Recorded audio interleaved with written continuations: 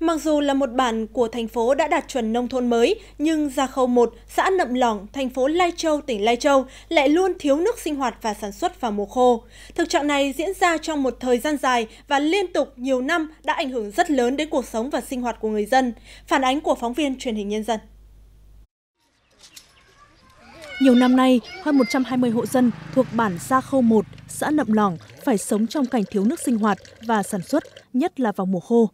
Thiếu nước sinh hoạt, những hộ dân nghèo không có tiền mua ống nước phải tự đi ra suối, lên khe để chở nước về phục vụ cho sinh hoạt hàng ngày.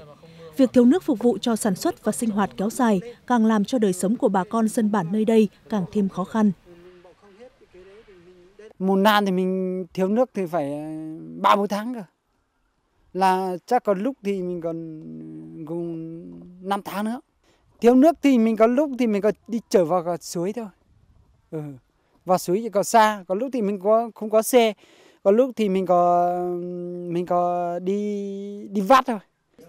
Thiếu nước thì rất vất vả từ giặt rũ và nước uống cũng rất là tiết kiệm. Nếu không có xe máy thì rất là lo đi lấy nước. Mong muốn nhà nước đầu tư nước sinh hoạt để cuộc sống của người dân đỡ vất vả hơn. Mỗi năm người dân bản Gia Khâu 1 thiếu nước sinh hoạt và sản xuất từ 3 đến 5 tháng và kéo dài theo chu kỳ nhiều năm liền. Mặc dù người dân đã kiến nghị nhiều lần, song việc đầu tư nâng cấp hệ thống nước sinh hoạt và sản xuất cho bà con nhân dân nơi đây vẫn chưa cho thấy hiệu quả.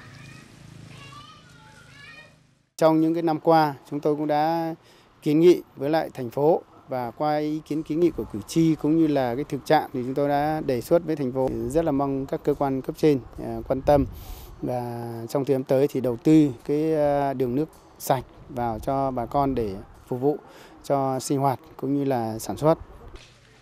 Được biết, xã Nậm Lỏng đã được công nhận xã đạt chuẩn nông thôn mới từ năm 2017, nhưng không hiểu vì lý do gì mà đến nay vẫn còn nhiều hộ dân thiếu nước sinh hoạt và sản xuất trong thời gian dài.